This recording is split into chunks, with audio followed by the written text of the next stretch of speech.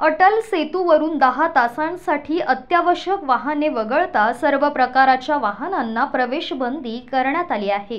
रविवारी होणाऱ्या मुंबई मॅरेथॉनसाठी शनिवारी रात्री अकरा ते रविवारी दुपारी एक वाजेपर्यंत अशा एकूण दहा तासांसाठी न्हावाशिवडी सागरी अटल सेतूवरून वाहनांना प्रवेशबंदी करण्यात आली असल्याची माहिती नवी मुंबई वाहतूक विभागाने अधिसूचना काढून दिली आहे.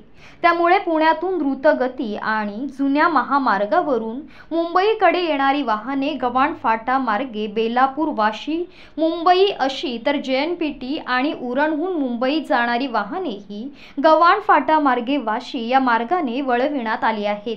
या वर्षीची मॅरेथॉन ही सेतूवर आयोजित करण्यात आली आहे.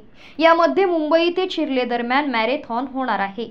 यासाठी एम एम आर डी एकडून वाहतूक विभागाकडे हा मार्ग बंद करण्याची मागणी केली होती. त्यानुसार ही प्रवेशबंदी जाहीर करणारी सूचना नवी मुंबई वाहतूक पोलीस आयुक्त तिरुपती काकडे यांनी काढली असल्याची माहिती न्हावा शेवा वाहतूक विभागाचे वरिष्ठ पोलीस निरीक्षक जी बी मुजावर यांनी दिली आहे.